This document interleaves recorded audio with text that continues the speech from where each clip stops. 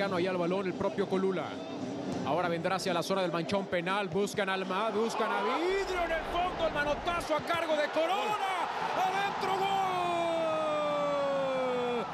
Gol.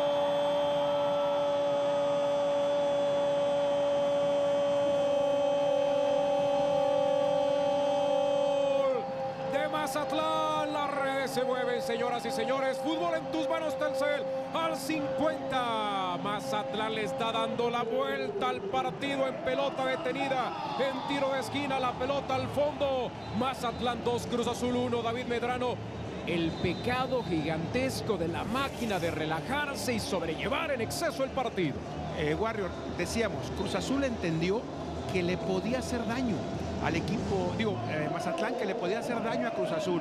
Le perdió el respeto, lo metió contra su área y en dos tiros de esquina, dos pelotas paradas, insisto, que se trabajan poco en los cuerpos técnicos de Tuca, las pelotas paradas, en dos pelotas paradas, Mazatlán ya le dio la voltereta al partido y por lo pronto, como decía Villavilla, ya zafaron los carritos, ¿eh?